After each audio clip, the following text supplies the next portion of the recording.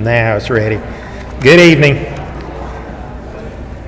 Hello, Joe and Jimmy say that it's time to go. So we will get started here.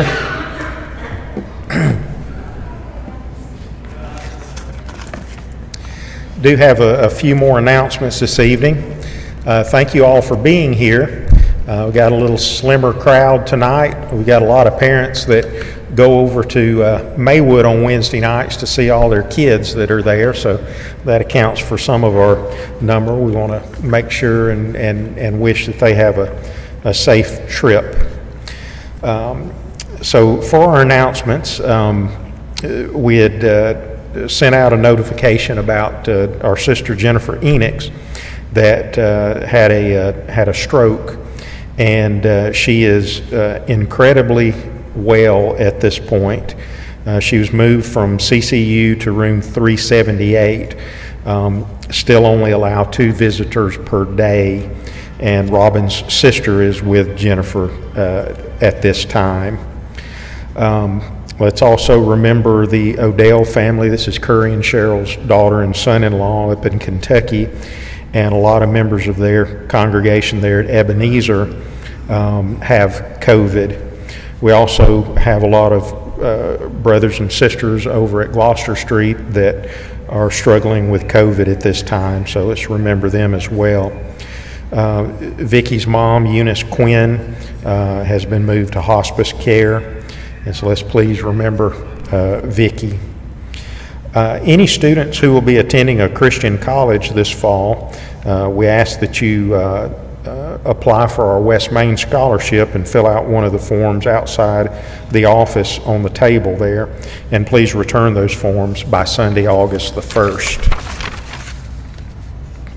If anyone would like to help with desserts for VBS, please contact Aaron Harrell this week. Also, the congregation is invited to fellowship and eat after VBS on Sunday and Wednesday evening. Our Vacation Bible School begins this Sunday at 6 p.m. to 7:30. Uh, please note that our Wednesday night service for July 28th will begin at 6 p.m. So next Wednesday night at 6 instead of 7. Uh, remember, uh, men, to enjoy our uh, fellowship and devotional on Thursday mornings at 7 a.m. And uh, remember to bring your own breakfast. The community outreach project for the month of July is school supply drive for Thomas Street Elementary. The list of the items needed is detailed in our church bulletin.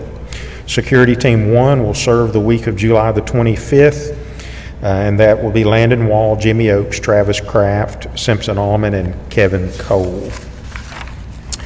And uh, Tom's dad, Charles, is uh, in rehab at this time, so let's remember him, hope that he keeps his spirits up and, and gets on home soon.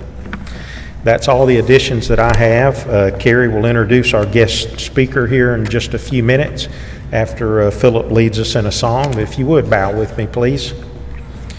Our dear Heavenly Father, we thank you for this day you've given us. We thank you for the time that we have to come on this Wednesday evening and study your word and fellowship with each other.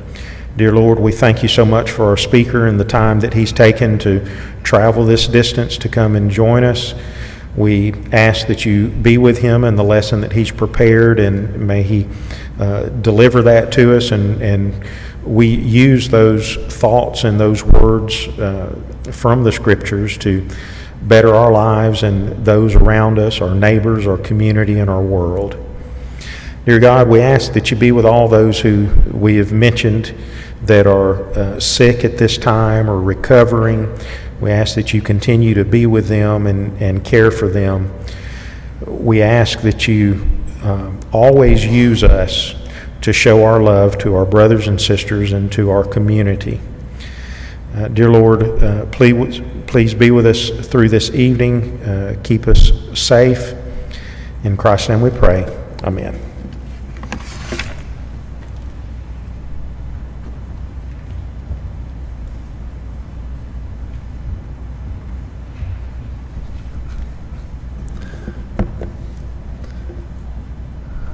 Chuck mentioned we are a little slim on crowd tonight, so everybody sing out, please. The Lord has been mindful of me.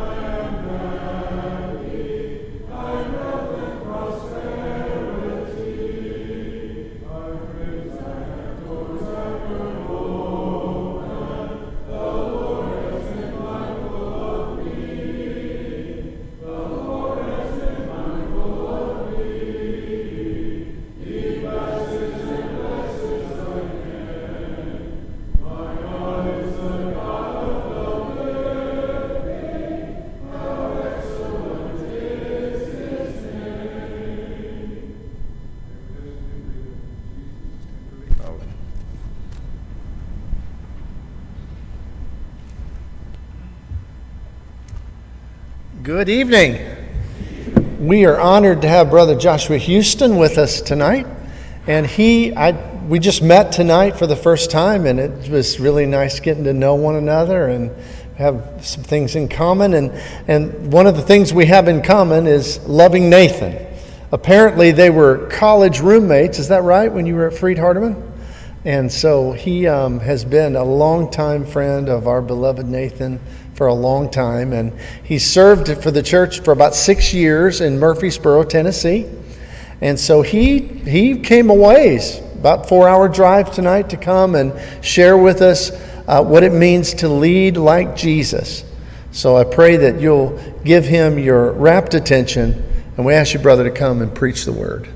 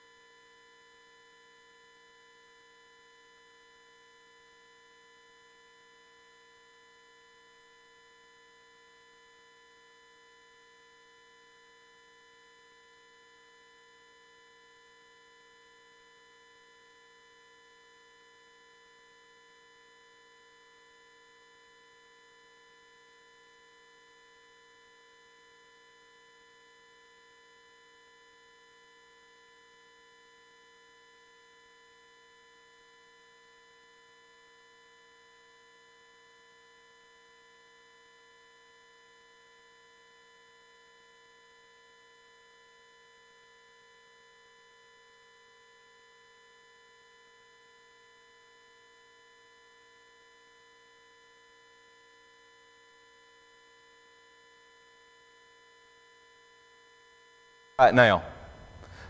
I'm an auctioneer for a living. I don't need this thing. Mark chapter 10, for anybody who didn't hear, Mark chapter 10, verse 35 through 45. Sons of thunder are bold. They come to Jesus. They ask him a question. And they say, Lord, whatever we ask of you to do, we want you to do it. Now, they must have been bros with Jesus. Because not everybody can talk to Jesus the way James and John talked to Jesus. And those of you who are parents in the room know that when your three year old five year old child comes to you and says, Daddy or Mama, I have a question, but I have to know you're going to say yes before I ask it, you know I'm not going to answer yes to that question. Right? So Jesus answers a question with a question. He says, Fine, what do you want? And they say, Jesus, when you come into your glory, which by the way, Paul's there, what great faith of James and John. I mean, they believed Jesus was really who he said he was. They believed he was coming into his glory. They believed that he was the King of kings and Lord of lords and he was establishing his kingdom. When you come into your glory, sit one of us on your right and one of us on your left. You remember this story. One of us on your right, one of, one of us on your left. In other words, you're going to be president, make one of us vice president and the other Speaker of the House. And James and John and all their flaws would have been better than what we have now, but I didn't say that. You didn't hear me say that. Jesus says, well, those places of prominence are there. Somebody's going to fill them, but it's been appointed for someone else. He doesn't tell us who. He doesn't give us really any information. You can flip through all the New Testament. I can't find who's going to fill those places of prominence, but somebody is. But it ain't them. Now, y'all know people, and people are people, and people talk about people, and so word got back to the other apostles that James and John had done this, and they started getting mad because people get mad at other people. And so Jesus hears about them getting mad. They don't come to Jesus, Jesus comes to them.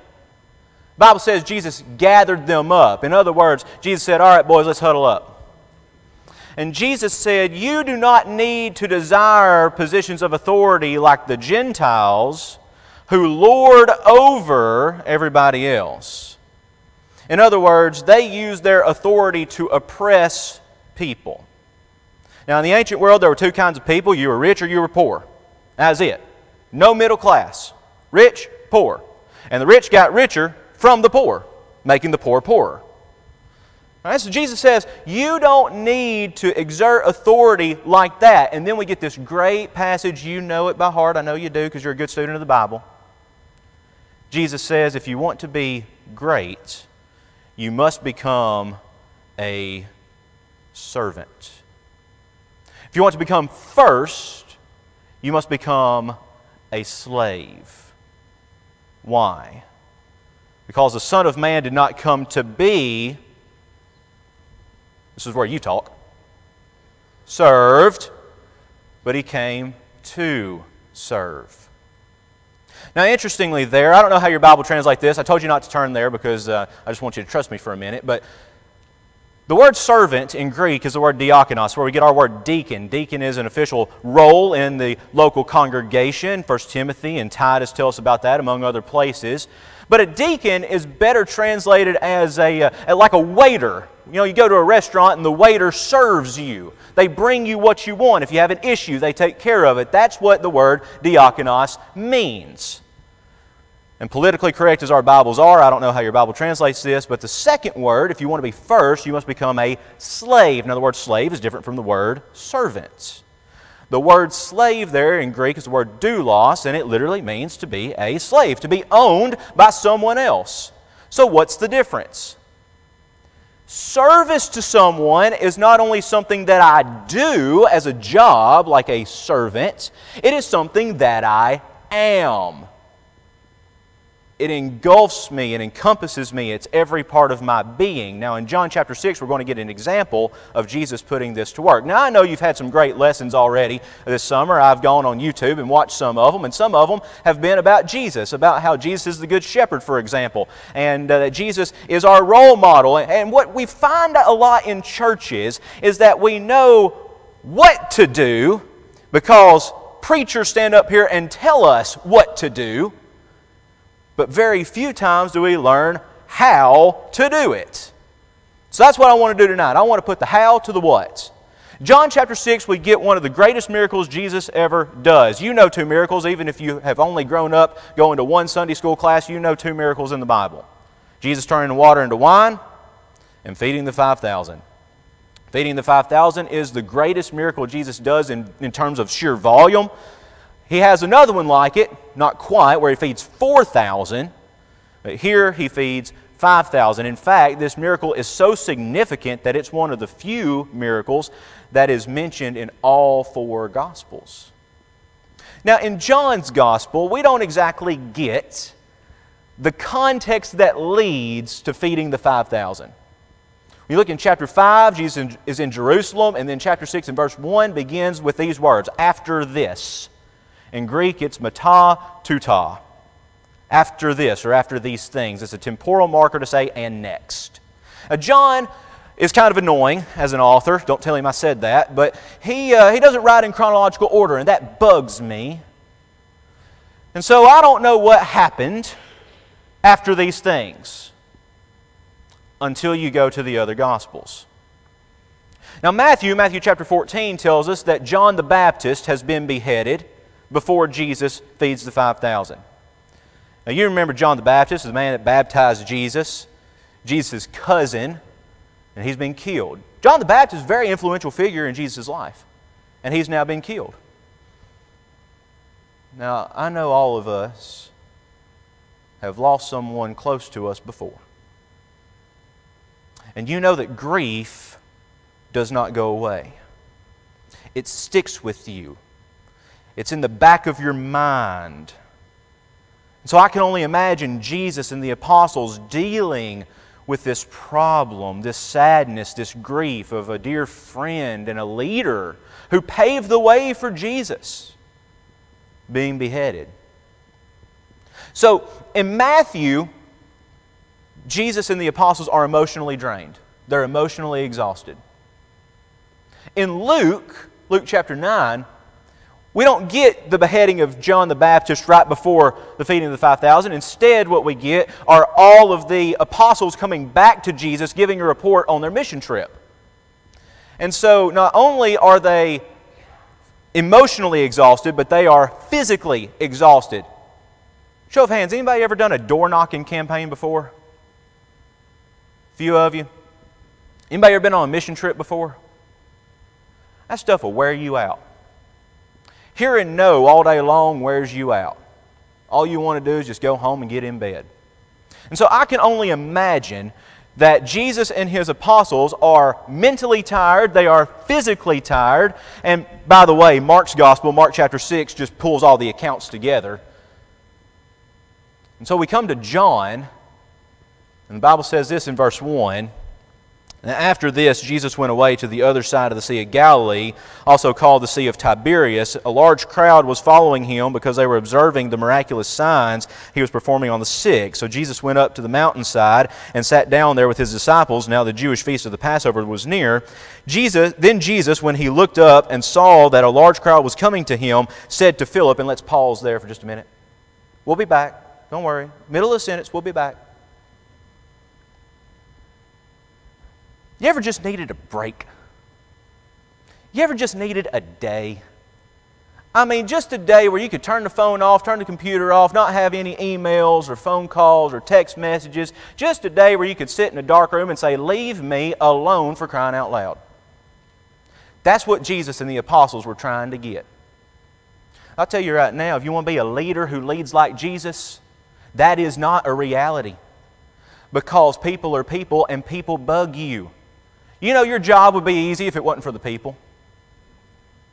Your family would be perfect if it wasn't for the people.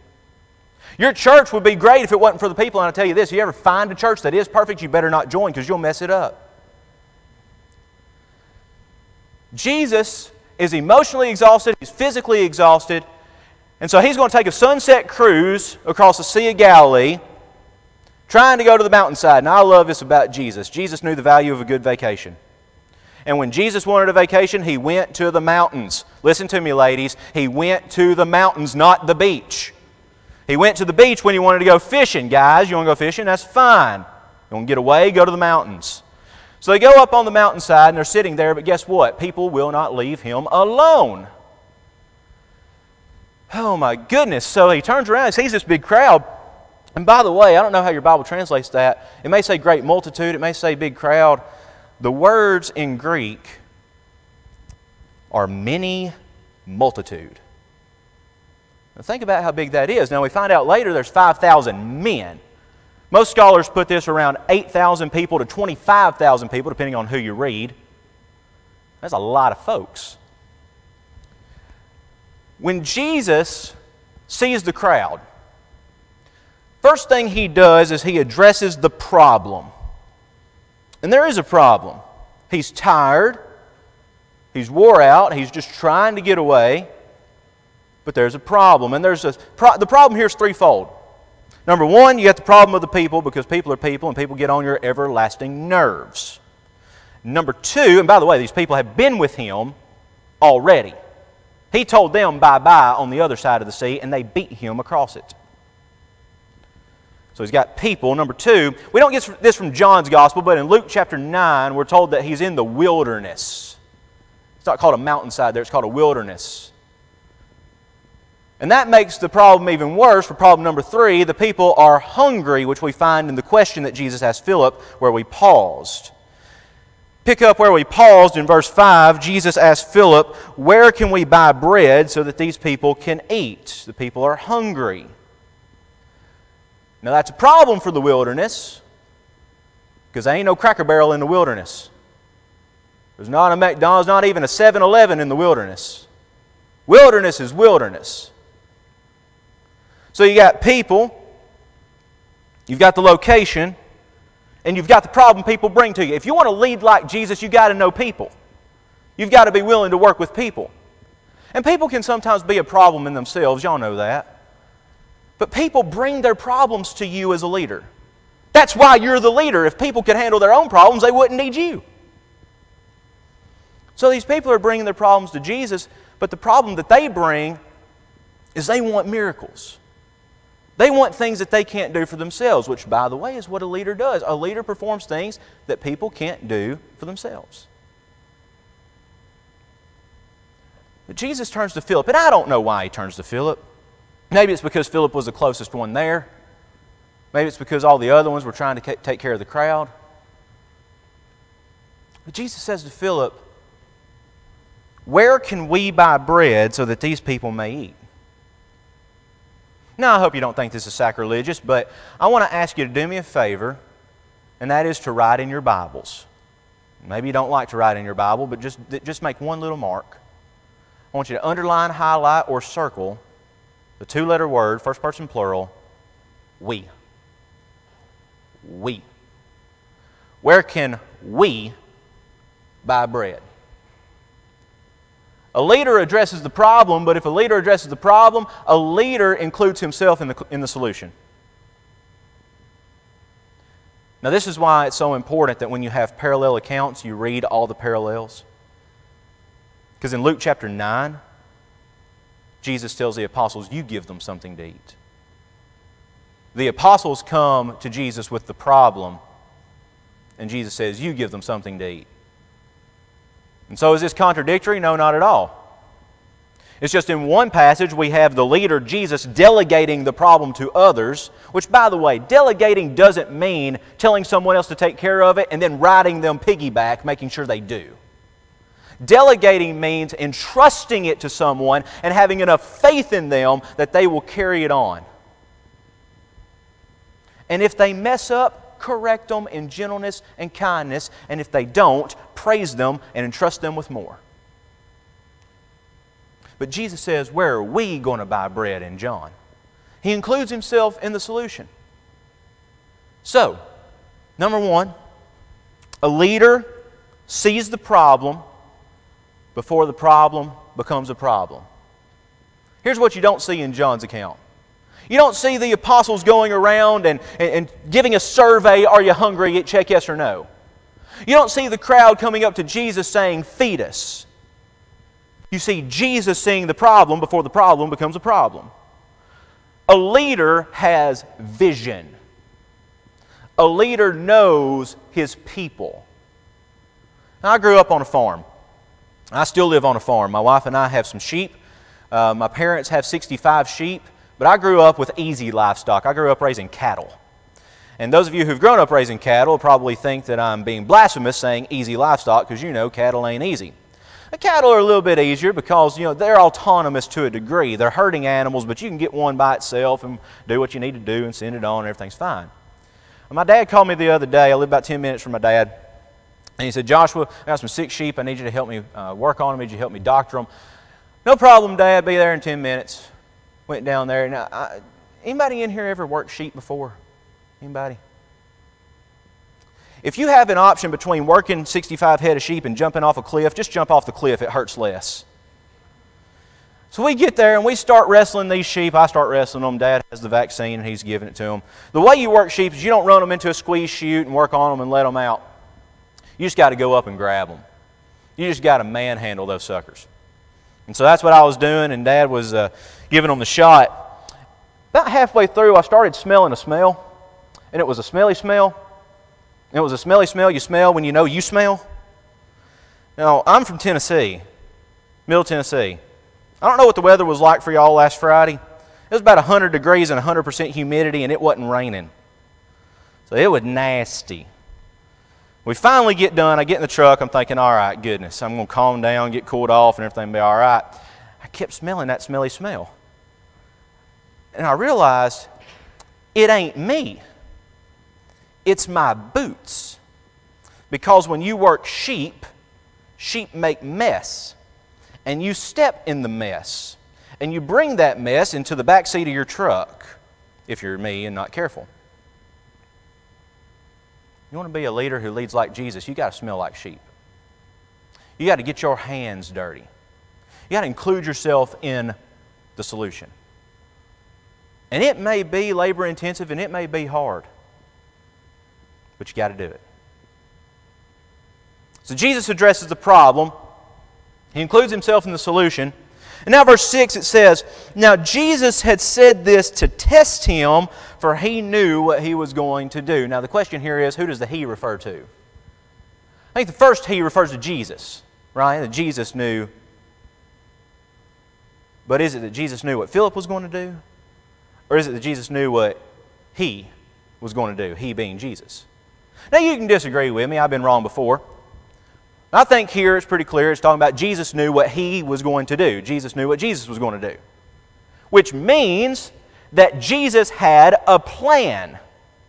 There is power in planning.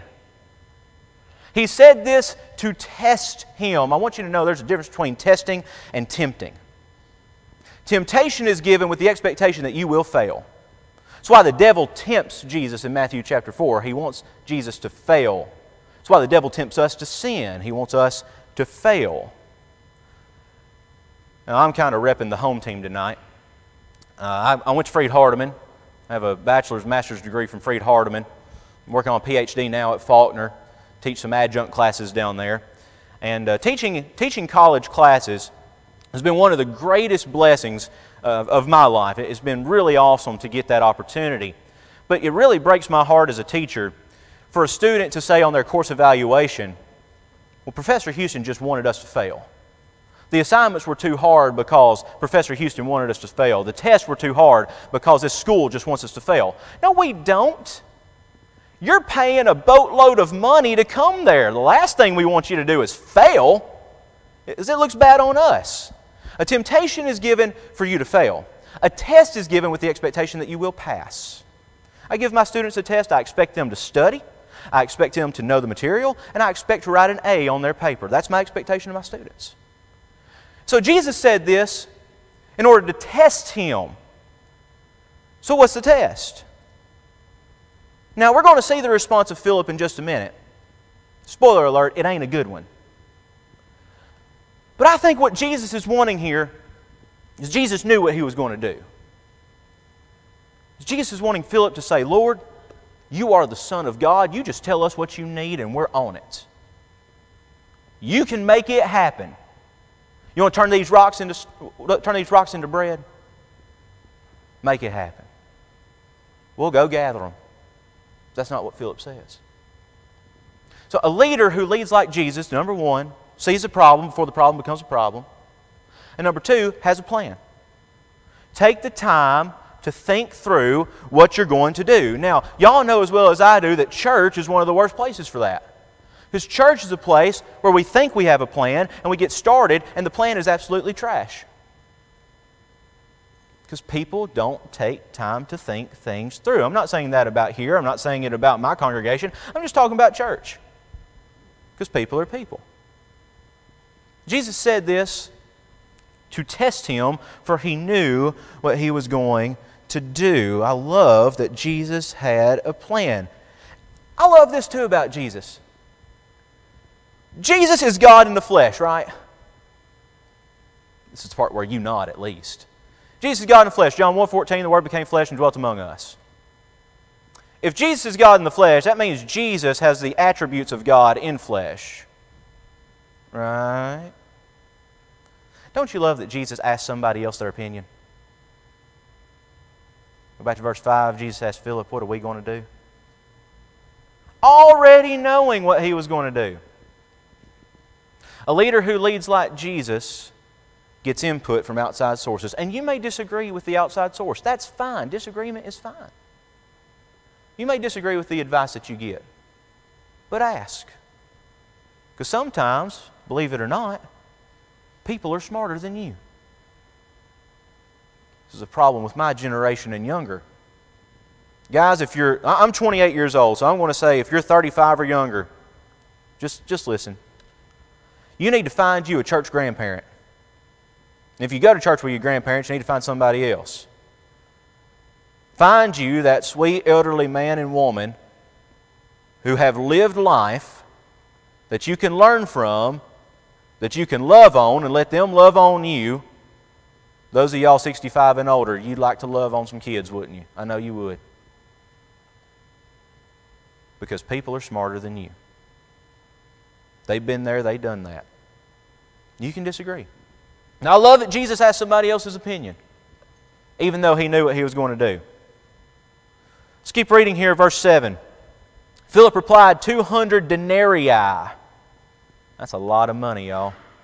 200 denarii worth of bread would not be enough for them, for each one to get a little. One of Jesus' disciples, Andrew, Simon Peter's brother, said to him, Here is a boy who has five barley loaves and two fish, but what good are these for so many people? Now, 200 denarii, like I said, is a lot of money. I'm not a mathematician. Uh, I went to Freed Hardeman, like I said, as Bible major. I had to take one semester of math while I was there, and it was almost remedial math. We called it Bible major math. It's the only math credit we had to have. I kid you not, the first day was 2 plus 2 equals 4. The 200 denarii, denarii is a day's wage. 200 roughly about six months, six to eight months worth of your daily wage. Now, again, I'm no mathematician, and if anybody in here is, don't stone me for bad math.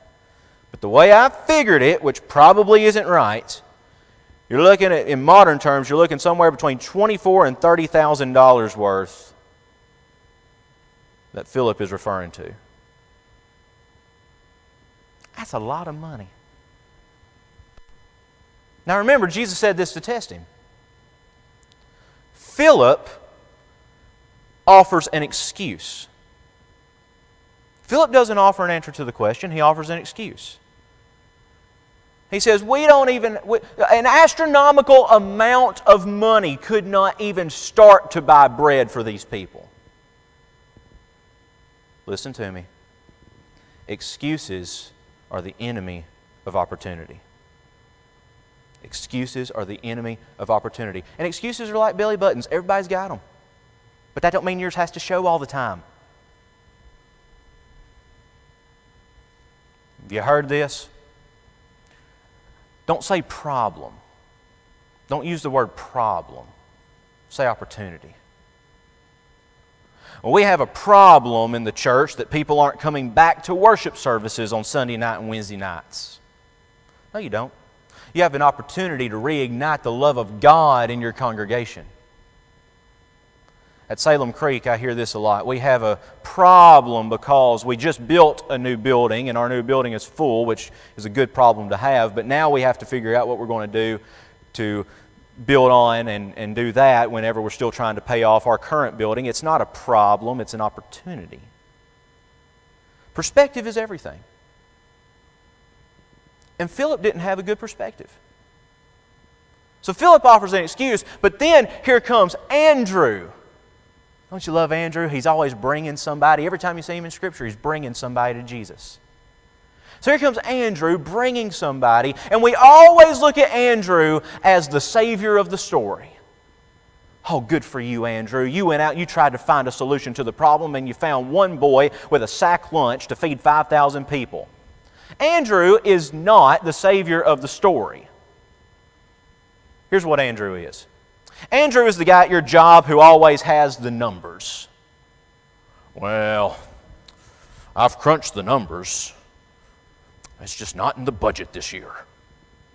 Now, there's nothing wrong with that. Maybe it's not in the budget this year but the numbers are there, right? So, what's the difference between what Andrew's doing and what Philip does? Philip offers an excuse saying, There's no possible way on this earth we can do this. And Andrew says, You know what? There is no possible way because all I have found is a little boy sack lunch. Neither one of them express faith in the power of Jesus to make possible the impossible. So, a leader who leads like Jesus identifies the problem creates a plan, doesn't offer excuses, and sees opportunity. And that's what we are called to do. You ever met a Christian who looked like they were weaned on a pickle? Christians are just, I tell you what, Christians are just sad and upset all the time. Smile, goodness, I dare you. And if you smile, you will start to change your perspective about life. And if you smile, you'll start to change your perspective about people. And if you smile, you'll start to be more generous in your spirit and you will have opportunity. God will send you opportunity, which means instead of praying for opportunity, now we pray for God to give us the wisdom to use the opportunity. Be careful what you pray for. So Philip and Andrew both come offering their two cents. I think the hero of this story is the little boy, don't you? You want to be a leader who leads like Jesus? Sometimes you have to sacrifice what little you have. Verse 10 Jesus said, Have the people sit down.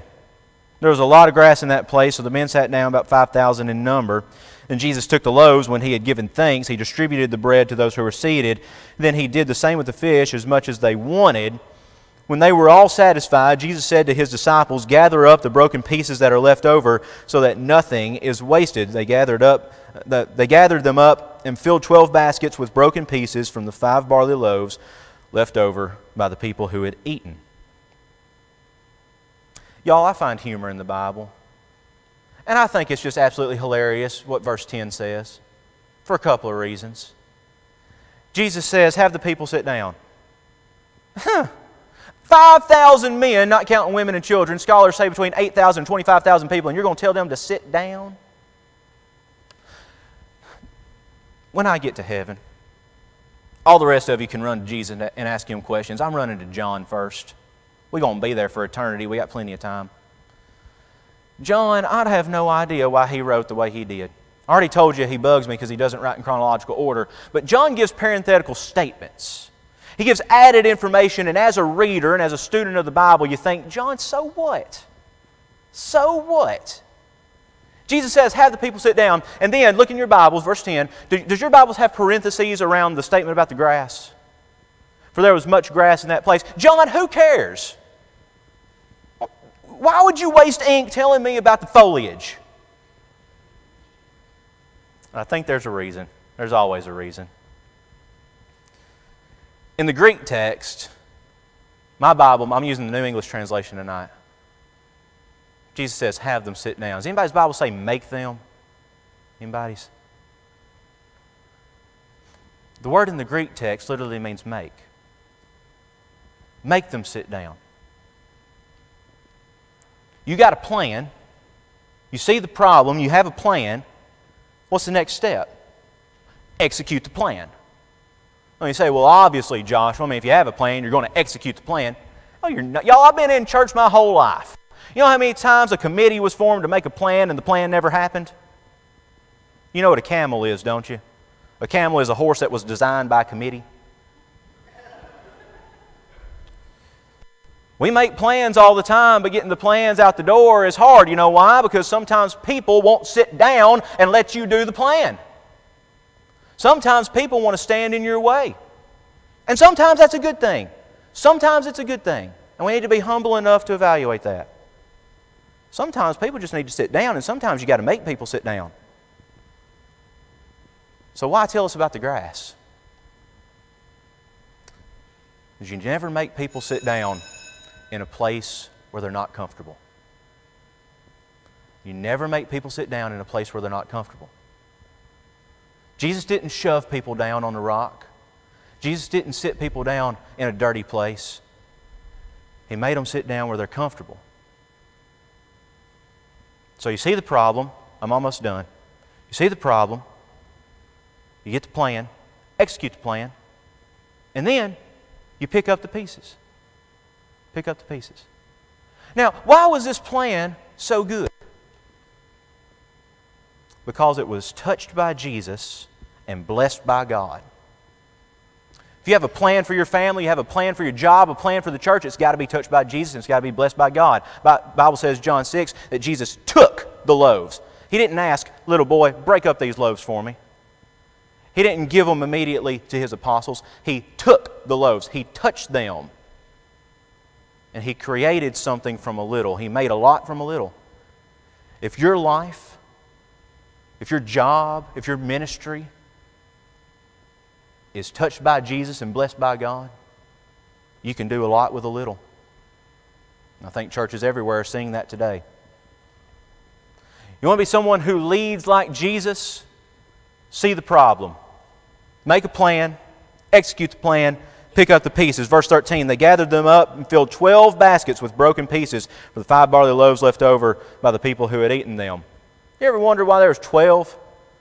Yeah, eight, between 8,000 and 25,000 people. That's really not a lot of scraps in the grand scheme of things, 12 baskets. Now, y'all, we're good red blooded Americans. We know we can eat. And Americans waste a lot of food.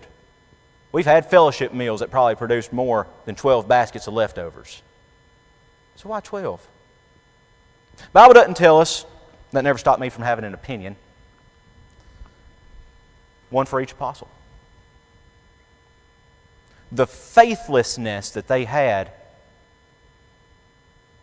was something they had to wrestle with and stare at every time they pulled from their basket for a lunch. It was a constant reminder to Philip and Andrew that your excuses ought to be flushed down the commode when Jesus is around. That your excuses are the enemy of opportunity. Jesus took a little and he blessed thousands of people with it. So, what is your life? What are you doing with your life? Are you, are you giving excuses every day as to why you can't serve God? Are you giving excuses about not being willing to submit your life to Jesus Christ? Remember, you want to be great, you want to be first, you have to become a servant, you have to become a slave. That's what Jesus does here. How do we lead like Jesus? We count others more important than ourselves. Maybe tonight there is an opportunity for one of us to serve you. Now, listen to me, y'all. We can talk about leadership, we can talk about service all day long. What you see in the church is somebody who has a need and they refuse to let people serve them. You got to have both. So there might be an opportunity tonight where you're struggling with sin. You came to church knowing that you're a sinner knowing that you stand outside of the grace and fold of God, we can serve you.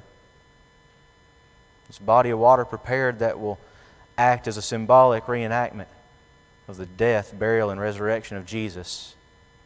And in that act, you meet the blood of Jesus, and it's the greatest laundry detergent there ever was. You can't get cleaner than the blood of Jesus. As I look at the crowd tonight, I guess probably most of you have already done that. That don't mean stains don't get on our clothes every now and then. If you need to pray, have the congregation rally around you, no judgment. But let us serve you as Jesus served 5,000 people. If you need Him tonight, you can come while we stand and sing.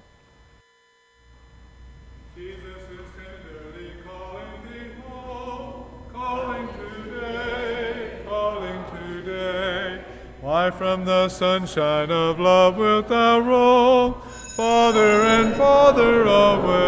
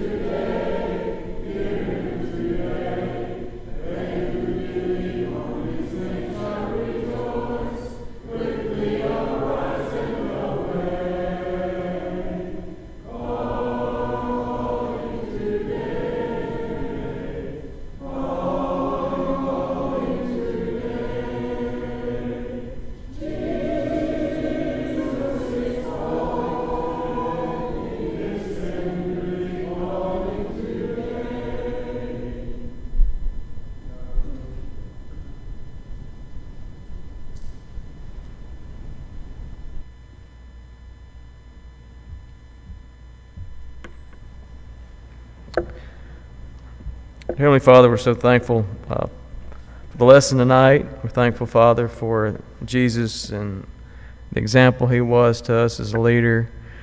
And pray, Father, that we will take advantages of the opportunities that you give to us, that we will take advantage and bring glory and honor to your name through those things. Pray, Father, that you will uh, continue to uh, bless Jennifer and Charles. We're thankful for the progress they've made, and we're thankful for um, your work and, and healing them. And we pray that you will continue to bless them and others that are on our sick list. we know that many are sick at this time, and we, we ask your blessings upon them. We're thankful, Father, for our elders. We ask that you continue to bless them and give them wisdom to, to lead the flock here at West Main. I pray that you'll be with all those who are traveling uh, this week or at camps, that you'll keep them safe. And Father, forgive us of our sins. In Christ's name we pray. Amen.